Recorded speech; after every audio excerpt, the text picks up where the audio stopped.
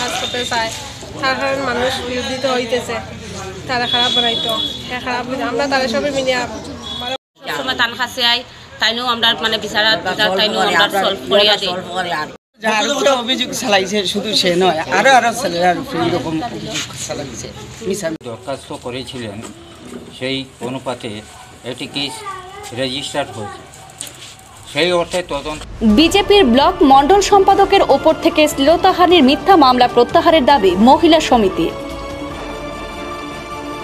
Hailakandi block মণ্ডল বিজেপির সাধারণ সম্পাদক মৃণালকান্তি চন্দের ওপর থেকে মিথ্যা শ্লীলতাহানির মামলা প্রত্যাহারের জন্য দাবি জানালেন হাইলাকান্দি ব্লক মণ্ডল মহিলা সমিতি ও মাতৃশক্তি মহিলা সমিতি সহ স্থানীয় মহিলারা। শুক্রবার বিকেল দুইটার সময় এক সাংবাদিক সম্মেলনে হাইলাকান্দি ব্লক মণ্ডল মহিলা সমিতি এবং মাতৃশক্তি মহিলা সমিতি সহ স্থানীয় মহিলারা এক সাংবাদিক সম্মেলনে জানান, হাইলাকান্দি ব্লক মণ্ডল বিজেপির সাধারণ সম্পাদক মৃণালকান্তি চন্দ একজন সমাজসেবক এবং বিজেপির দলীয় নেতা। তিনি সবসময় জনগণের বিপদে আপদে ঝাঁপিয়ে পড়েন। একটি দুষ্ট চক্র তাকে বদনাম করার জন্য দাস পদবীর মহিলাকে হাতিয়ার হিসেবে ব্যবহার করেছে। তারা স্থানীয় নাগরিক দাস পদবীর মহিলার দ্বারা মৃণালকান্তি চন্দ্রের ওপর লাগানো সকল অভিযোগকে মন করা এবং ভিত্তিহীন বলে মন্তব্য করেন। তারা সংবাদ মাধ্যমকে আরও জানান, স্থানীয় সমাজসেবক তথা বিজেপি নেতাকে উদ্দেশ্য প্রণোদিতভাবে ফাঁসানোর জন্য মহিলা ও তার স্বামী হাইলাকান্দি সদর থানায় মিথ্যা শ্লীলতাহানির মামলা দায়ের করেছে। মহিলা সমিতির সদস্যরা ক্ষোভের সঙ্গে আরও জানান শুক্রবার সকালে মহিলা সমিতির এক প্রতিনিধি দল এই বিষয়ে বাদীপক্ষের মহিলার সঙ্গে কথা বলতে গেলে মহিলা তাদের সঙ্গে অসভ্য আচরণ সহ অনেককে অকথ্য ভাষায় গালিগালাজ করে। এই জন্য মহিলা সমিতির পদাধিকারীরা হাইলাকান্দি জেলা প্রশাসনের কাছে এই ঘটনার নিরপেক্ষ তদন্ত সহ মৃণালকান্তি চন্দের উপর লাগানো শ্লীলতাহানির মামলা প্রত্যাহার করা সহ বাদীপক্ষের মহিলা এবং তার স্বামীর বিরুদ্ধে বিহিত ব্যবস্থা গ্রহণের দাবি জানান। এদিকে এই শ্লীলতাহানির মামলার তদন্তকারী আধিকারিক তথা হাইলাকান্দি সদর থানার সাব ইন্সপেক্টর সুধন্য ভট্টাচার্য জানান, শুক্রবার সরজমিনে তদন্ত করে অভিযুক্ত মৃণালকান্তি চন্দ্রসহ বাকি আরও দুইজনের বিরুদ্ধে আনা শ্লীলতাহানির অভিযোগের কোনো উপযুক্ত প্রমাণ এবং সাক্ষী মিলেনি। উপরন্তু বাদীপক্ষের মহিলা এবং তার স্বামীকে খুঁজে পায়নি পুলিশ।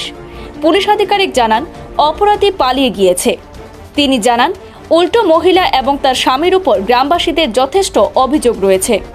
এদিনের সাংবাদিক সম্মেলনে উপস্থিত ছিলেন হাইলাকান্দি ব্লক মণ্ডল মহিলা সমিতির সভানেত্রী ছন্দা শব্দকর, মাতৃশক্তি মহিলা সমিতির সভানেত্রী নমিতা দাস, বিজেপির মহিলা মোর্চার কার্যনির্বাহী সদস্যা ঝুমা শব্দকর, হাইলাকান্দি ব্লক মণ্ডল সহসভানেত্রী পূর্ণিমা চন্দ, মাটিচুরি পাইকান জিপির এক নম্বর ওয়ার্ড সদস্যা প্রণতি শব্দকর প্রমুখ ব্যক্তিবর্গ। না তদন্তে এসে তো দেখতে পারলাম এবং যথেষ্ট সাহের সাথীতে প্রমাণিত হয়েছে যে অভিযোগকারী যিনি দরখাস্ত করেছিলেন, সেই অনুপাতে এটি কেস রেজিস্টার্ড হয়েছে।